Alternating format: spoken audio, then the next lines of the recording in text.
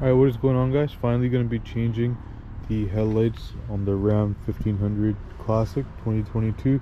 Uh, pretty easy to do. There's a lot of steps, but overall, it's it's pretty simple to do.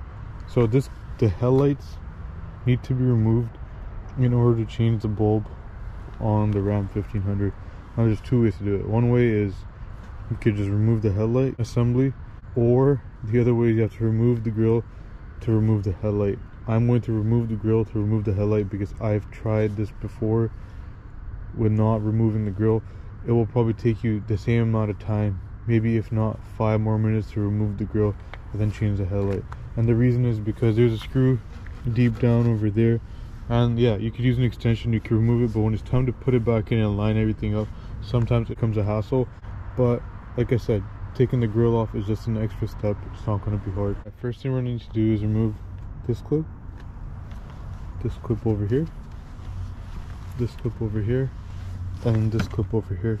And then we basically can move this around so we can access all the bolts screws whatever we have to to remove the grill. For me it's easy enough just to pull on it and it comes out like that. I don't need to use any tool or anything. Same thing on the other side. Give it a yank. There we go. That came on nice same thing for this side. Gonna grab it from here. If you have the tool for the clips go ahead remove that. Don't make it hard on yourself but this is easy for me. So i'm just gonna do it this way. Here we go. I won't be removing this clip and this clip because if i move this i have more than enough room to remove that screw there this screw here this screw and then this screw. So pretty easy not complicated. And also when you remove this or move this up it might open this. Just make sure you close it after or leave it because it might come off a couple times. And then just make sure to push it back in properly after if this is your coolant tank. All right nothing crazy here. Now we just have a few 10 mils we need to remove. One's going to be on this side here. It's going to be one over here. One over here. And one over here. Total four screws on top of the grill that we need to remove. All right so we got the four screws out over there. One from here one from here one from here and then one from this corner. What we could do is we could pull the grill out now. So it's the rest is held on by clips. You want to yank but you also want to be really careful because it is a little fragile and for those of you that have a new grill this would be the right time to change the grill. So we're going to start with one end give it a little pull. Come over here give it a little pull. And then try to get your fingers in here. Or around here would actually be better. Give it a little pull. And then be careful make sure you don't drop it i'm trying my best to show you guys how to do this while holding the camera. I don't have a camera guy right now. So i'm just gonna give a little pull over here too. Well i mean you guys get the point. So there's another clip over here. I just don't want to drop my grill. Okay, now the grill is off. I'm gonna put this on the grass over here because i don't want my grill to get scratched. Ram 1500 Anyway, so a couple screws we got to remove for both headlights. Nothing at the top we got one over here one over here. Same thing for this headlight one over here one over here. And then there's going to be a white clip that I probably can't show you guys because it's going to be dark. So there's a little housing thing over here. There's a clip at the bottom. I'm take out the clip and you can pull the housing and then inside there's a white tab which you have to unlock. Once you unlock that white tab the headlight becomes loose and you could pull it out. Okay, here's a closer look. This is gonna be the clip that's by the fender like the clip you have to remove in order to open that little pocket where the tab is the white tab. This is gonna be locked inside pushed all the way like so. What you want to do is you stick a flathead screwdriver where that little mark is over there. And what you can do is you could take this out. When you take this out it should it should be like that and it will unlock the pin and then you can pull it out and open that little pocket. Sometimes it'll come out completely that's fine too. You can still unlock it but in order to lock it just make sure you insert this back and when you push it all the way into the pocket it will lock. Super easy to do.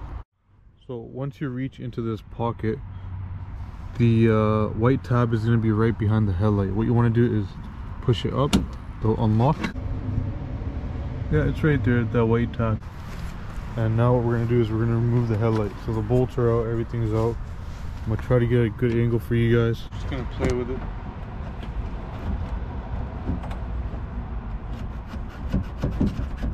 There we go.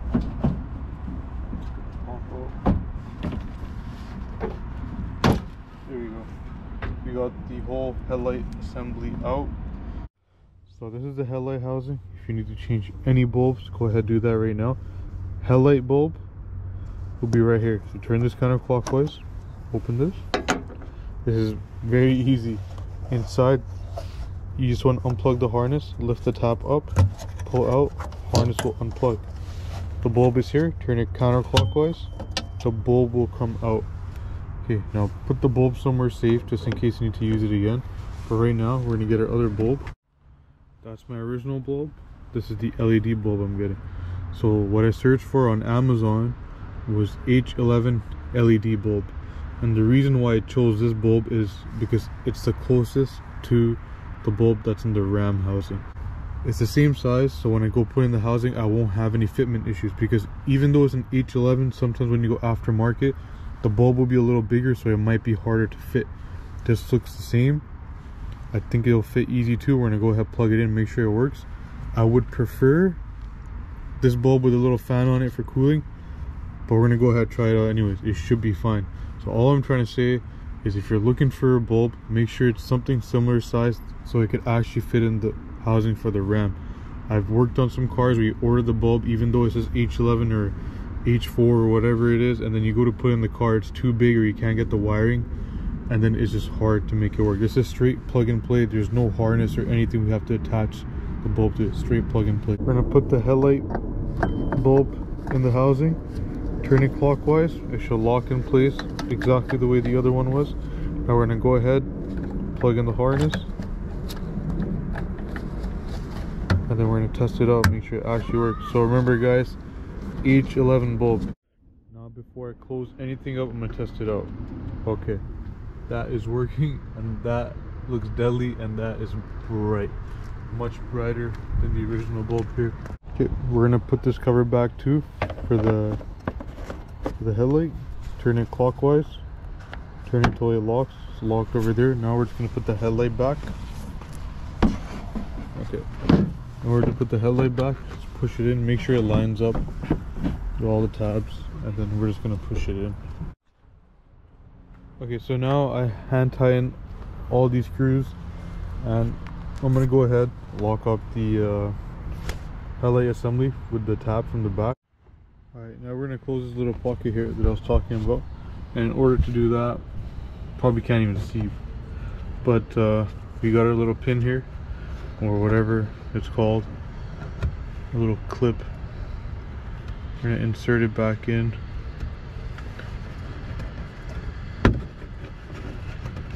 Insert it in and then push the clip just to lock it in. There we go. That's locked up now lined up nice the way I wanted it. This side is done. Now we're gonna go ahead and do this side. I'll show you guys how to do this side too. Like I said same thing remove this screw. I've already removed that screw. Then we go in here same thing we have to remove the little uh, little clip and this time I'll show you guys on this side. Even though probably can't see much. So I'm gonna stick the little screwdriver in there open it up flathead screwdriver. Open the clip up.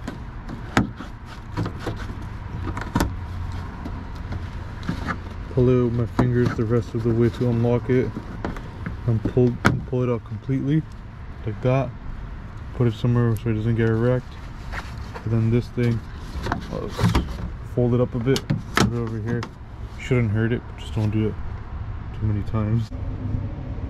Yeah it's right there that white tab my hand in here and then just open the uh unlock the little top if you stick it all the way your hand and there should be a white tab in there unlock it So I pushed up to unlock it. All right, same thing. We're gonna go ahead pull this housing out. So pull from here, a little bit of wiggling from here, and it should pop out, no problem. Also, I find I found a little uh, locking tab for you guys. Check it out. So, see, see my finger from here? You could access the locking tab. Like that. Super easy. There we go. Just wanted to show that to you guys. And now we're gonna do is just do the same thing for this side. This is where the headlight bulb is gonna be. Turn it counterclockwise to unlock. Put this somewhere else. Here is our headlight bulb. Lift the harness. Turn it counterclockwise. Take that out. Put that over there. Grab our other bulb. And then grab the other bulb. Put it in here. Turn it clockwise and it'll lock into place. So remember the way the bulb goes is this part should be facing the bottom of the headlight. And then we could go ahead plug the harness in.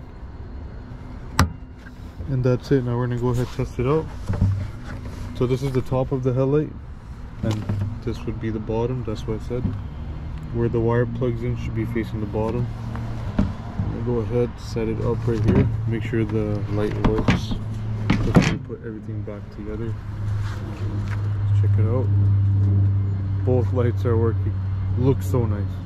Looks so nice. Also from factory, the Night Classics, they have the tinted headlight. So the exterior is still clear. The interior, everything's like blacked out inside. So it looks, it makes it look very aggressive. We're gonna put this cover back, turn it clockwise, just lock it, and we're gonna put everything back together just the way we took it out. Alright guys, headlights are done. What we're gonna do next is put the grill back. But before we do that, make sure you have both your screws, this one and this one, tight on this headlight. Same thing for the other side. Bottom one top one. Make sure you have your little tabs closed and your little pockets on both sides. And now we're gonna go ahead put the grill back on the ram 1500 all right finally got a cameraman for uh, the installation for the grill. Pretty easy we're just gonna line it up. So this clip has to go in here. Same thing for the other side that clip has to go at the bottom one. This clip into here, this clip over here, and then we just have to line up our holes where the screws go. So we're gonna lift this up a bit. Just line up the screw holes first. Okay, once they look lined up, this one's not lined up. Gonna line that one up. Make sure that one's good too. That one's good. What we're gonna do is give it a little lock over there. Little kick over here. That's it. Our grill is locked. Now the screws we took off, we're just gonna put them back, tying them down, and yeah, we're pretty much good to go. Put all your clips, clips back where they go, and yeah, it's pretty easy. Like I said, it takes another five minutes to take the grill off, and uh, super easy to do. And yeah, that's it. And for your coolant reservoir, don't forget about that. This will move with this. Make sure this is closed. Coolant reservoir, very important. And that's it. Thanks for watching, guys. Everything's put back together. Truck looks good. The nice bright blue lights. Looking deadly.